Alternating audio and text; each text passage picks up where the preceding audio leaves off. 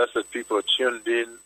This past night, the Lord spoke with me tremendously, including by voice. Now, the Lord takes the scroll, He takes the scroll with His right hand, a white, glorious scroll, while I am before the mighty throne of God Almighty in heaven. And then He placed that scroll into my mouth, and I ate it. Again, the Lord takes the scroll and places the scroll into my mouth, so I ate it. I ate the scroll of God Almighty. And then the voice of God yesterday said, by voice, Jehovah by voice said, the instruction has been given. The instruction has been given. And he said that is how the instruction is given. So the instruction has been given. And then I understood that uh, the Lord has given an instruction to another level for this current ongoing visitation on the church, the visitation upon the face of the earth, that now the Lord has escalated a second level of instruction. And that speaks very much about the time. The time we are in speaks about many things regarding the coming of the Messiah and the dispensation after this. And then I understood right away that the Lord Jehovah is speaking with this generation in a very severe way, in a very serious way, and relentless, consistent. Is speaking with this generation. I'm reading from the book of Isaiah, chapter 6, verse 6. He says, Then flew one of the seraphim to me, having a live cord in his hand, which he had taken with the tongue from off the altar.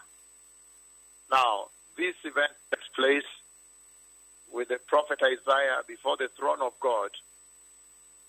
This time, it is the seraphim that are above the throne that take this live coal, hot coal, and put in his tongue. But on this occasion, it is the hand of the Lord God the Father himself that takes a scroll and puts in my tongue, in my mouth, then I ate it fully.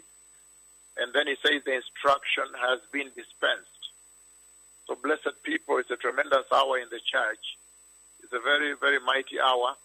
The book of Revelation, chapter 8, verse 5, it says, Then the angel took the censer filled with fire from the altar and hurled it to the earth. And there came pearls of thunder, rumblings, flashes of lightning, and an earthquake. That is just how tremendous the content of the altar of the Lord is. So the Lord Jehovah, God the Father, with his hand, the right hand, he takes the scroll from his altar and he places the scroll in my tongue, in my mouth, and I eat it. But just that you may know the content of this altar in heaven, the glorious altar at the throne of God Almighty, this is just how severe the content of that altar is, blessed people. The altar that is at the throne of God Almighty in heaven. And so there is so much work, there's so much ministration that comes forth from there. The book of Psalm 51, verse 7, it says, Cleanse me with hyssop, and I'll be clean. Wash me, and I'll be whiter than snow. So there is a purging and a purification that will come forth. There is a big purging that will take place in the worship, the worship that is supposed to be presented before the Lord Jehovah. And this is what the Lord is emphasizing at this hour.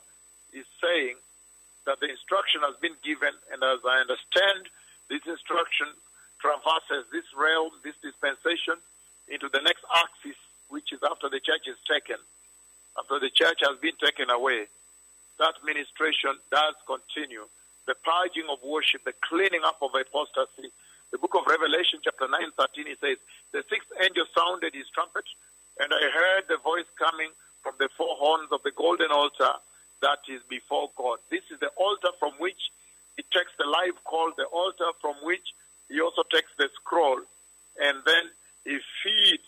And then I see the two tremendous prophets of the Lord have eaten the scroll of God, and now they are totally ready for work, ready for action, ready for service and it's a very, very powerful hour in the church. Why do they bring forth the purging the purification in worship. He says, But who can endure? I'm reading Malachi 3 2. But who can endure the day of his coming?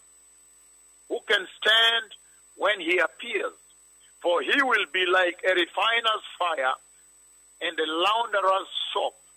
So now you understand why the purging takes place, why the rebuke of sin takes place, the cleaning of worship takes place, because the Messiah is coming. And in the book of First Peter, chapter 1, verse 7, he says, these have come so that the proven genuineness of your faith, of greater worth than gold, which perishes even though refined by fire, may result in praise, glory, and honor when Jesus Christ is revealed. Again, talking about the purging, the purification that come before the glorious coming of the Messiah. And finally, you can read and on and on the book of Hebrews, Hebrews chapter 12, blessed people. I'm reading verse 28 all the way down. Again, Hebrews 12, Hebrews 12, 28 to 29, he says, Therefore, since we are receiving an unshakable kingdom, let us be filled with gratitude and so worship God acceptably with reverence and awe, for our God is a consuming fire. So that scroll that he placed and the two prophets that were standing before his throne ate the scroll, and then they now came out they're programmed for action, for the purging, for reproving worship, for the purification of worship. That scroll is meant to prepare, to bring forth fire, the consuming fire of the Lord, to purge the worship, to purify the worship, that when the Messiah comes, the bride may be holy. And then beyond the dispensation we are in, then at that time now, will come the great purging of apostasy of the day actors that will be involved at that time, the principles of that time that will be confronted by they that have eaten the scroll before the throne of God Almighty. The Messiah is coming. May those who have ears listen to the voice of the Lord, to what the Spirit of the Lord is saying to the nations. Todah Shalom. Prepare ye the way of the Lord. The Messiah is coming. Baruch Hashem.